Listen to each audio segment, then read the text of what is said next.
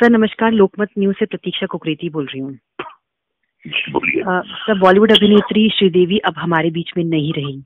इस पर आप क्या कहना चाहेंगे? मैं ये कहूँगा कि ये तो सब भगवान की मर्ज़ी के बिना कुछ होता नहीं है।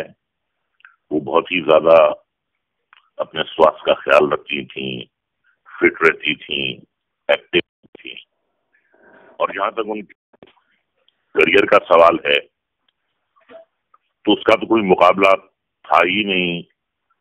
वो साउथ इंडिया से आई, वो भाषा जानती नहीं थी। और, हिम्मत वाला के बाद उन्होंने कभी पीछे मुड़ के देखा नहीं। और, वो एक अकेली हीरोइन थी, जिसके नाम पे फ़िल्म बिकती थी। हमेशा हीरो के नाम पे फ़िल्में बिकती हैं, लेकिन श्रीदेवी की लोकप्रियता इतनी थी कि उनके नाम पर फ़िल्में बिकती थी। और चौवन साल की उम्र जो है वो जाने की नहीं है। जी। लेकिन ये भी कहूँगा कि चौवन साल की उम्र में जितना श्रीदेवी ने काम किया कोई आम इंसान एक सौ चौवन साल की ज़िंदगी में इतना काम नहीं कर सकता। जी जी। तो चली तो गई है वो। शारीरिक तौर पे वो आज हमारे बीच नहीं है। लेकिन जो उनका कंट्रीब्यूशन है जो उनका काम है वो तो ता ज़िंदगी ता कयामत तक रहेगा। जी। उसे बिल्कुल झुटलाया नहीं जा सकता। वाकई ये एक बहुत बड़ी क्षति है ये बहुत बड़ा नुकसान है लेकिन फिर हम यही कहते हैं कि ऊपर वाले की मर्ज़ी के आगे इंसान की कुछ चलती नहीं है। हम सब के सब शॉक्ड हैं। वो दुबई में उन्होंने अपनी आखिरी सांस ली आज मैं भी दुबई में ही हूँ। जी जी। और बस उनकी आत्मा की शांति के लिए हम दुआ कर सकते हैं। उनकी बेटी की फ़िल्म रिलीज़ होने वाली थी एक महीने में। इसी वजह से वो शादी में शरीक नहीं हो पाई उनकी बेटी जानवी तो वो अपनी बेटी की फ़िल्म नहीं देख पाई। ये बहुत ही अफसोसनाक बात है। तो आप हम उनकी आत्मा की शांति जी। जी। आप आपने उनके साथ कई फ़िल्मों में काम किया है जाबाज में आपने साथ में काम किया आपका जी, कैसा एक्सपीरियंस रहा? क्या आपको उनकी शख्सियत की कोई बात याद है?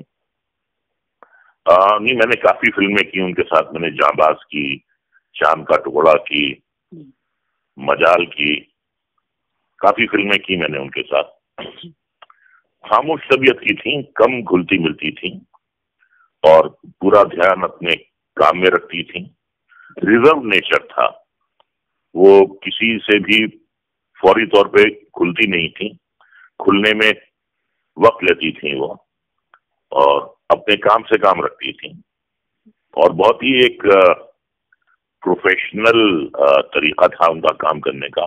समय पर आना पूरे कंसंट्रेशन के साथ अपना काम करना।